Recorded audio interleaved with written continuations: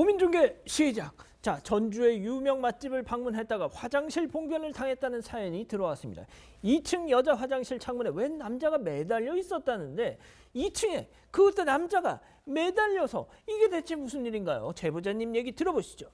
이제 한 점심 12시 정도 이 식당에 방문했는데 그리고 한 1시 정도 이제 다 먹고 뭐저 여기 화장실이 어디예요? 그랬더니 그 여자는 2층 여기 화장실 쓰시고 남자분은 2층 내려가서 쓰셔야 돼요 그랬어요. 화장실 딱 들어갔는데 전 이렇게 큰 창문을 또 처음 봤는데 투명이었어요. 오른쪽 말고 왼쪽을 먼저 들어가려고 했더니 왼쪽은 들어가서 이렇게 문을 잠그려고 하는데 문이 안 잠기는 거예요. 그래서 이제 어쩔 수 없이 다시 이제 이쪽 사진으로 보내드렸던 오른쪽으로 들어갔어요 좀 이게 찝찝하긴 했는데 화장실은 급해가지고 여기가 2층이라서 지금 창문이 크고 이게 투명인가? 아무 일이 없으니까 지금 여기가 이런 거겠지?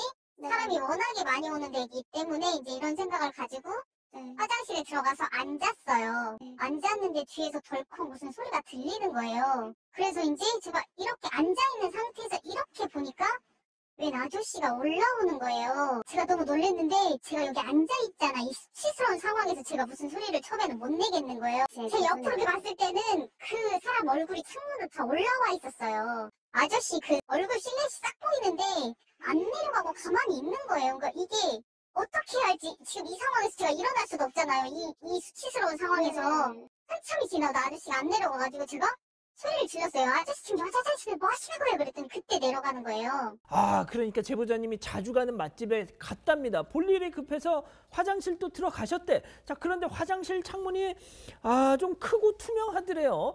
왠지 모를 이 찝찝함. 촉이 있잖아요. 망설이다가 아 2층인데 누가 설마 오겠어 싶어서 그냥 가셨대. 자 그런데 세상에 그 설마가 현실이 됐다는 거. 자등 뒤로 스물스물 검은 실루엣의 남자가 쳐다보고 있더랍니다. 아니 2층 여자 화장실에 그것도 남자가 대체 어떻게 튀어 올라온 걸까요? 제보자님 얘기 더 들어보시죠. 제가 나와서 밖에 있는 남자 직원이 있어서 지금 여자 화장실에 사다리 타고 아저씨가 지금 올라왔는데 이 뭐냐 사장님 불러주라고 그랬어요 어떤 여자가 그래서 거기에서 제가 이 상황을 얘기를 했어요 그 여사 그게 여사장인데 웃는 거예요 그래서 제가 너무 열받아가지고 전 지금 이 수치스러운 상황도 죽을 것 같은데 소리를 질렀어요 지금 웃기냐고 이게 어? 당신은 웃길지 모르는데 나는 안 웃기다. 그래서 제가 이제 그때 당시에 112에 신고를 했어요. 신고를 하고 경찰이 오는 동안에 이 여사장이 사라졌어요. 알고 보니까 이제 그 작업자를 찾아가지고 저한테 데리고 와서 죄송하다고 시키고 근데 그 작업자가 죄송하다고 자기 못 봤다고 그러는 거야. 못 봤으면은 이게 뭐 지붕 무슨 공사를 한다는데 사다리를 보시면 아시겠지만 지붕 공사를 할 것 같으면 상체가 더 올라와서 네. 공사를 했어야지 맞고 네. 가만히 있으면 안 됐는데 그 아저씨는 가만히 있었어요.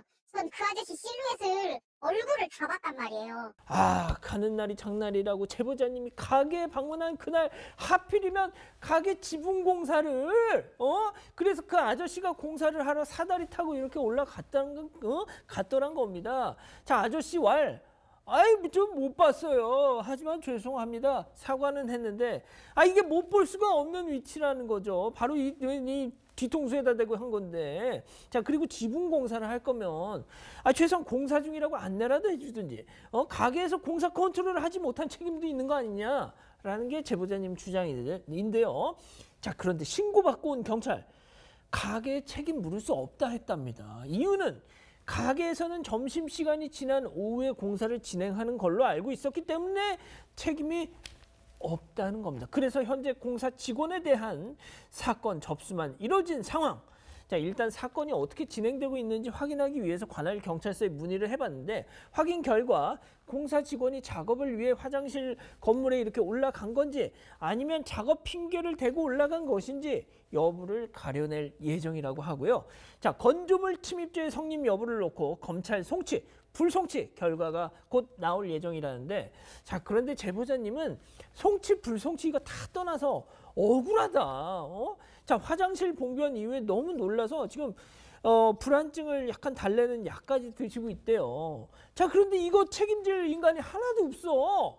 한마디로 법이 너무 허, 너무 허술하더라 라는 겁니다. 소리를 칠 수가 없다고 하니까 더 힘든 거예요. 그 아저씨한테 당한 일은 잊을 수가 없고 그 여사장이 웃는 얼굴도 잊을 수가 없을 것 같아요. 자, 우리 가족 여러분들 생각 어떠십니까? 집단 지성의 힘 댓글 꼬고